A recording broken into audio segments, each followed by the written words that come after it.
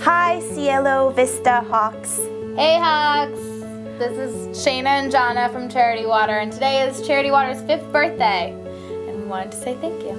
We want to take the opportunity to really express our most sincere thanks to supporters like you who have fundraised for clean water projects around the world. You guys raised over $5,000, uh, which will serve hundreds of people with safe water. And because of people like you, rock star campaigners that is, uh, we have helped almost 2 million people in five years get access to clean water. So thank you.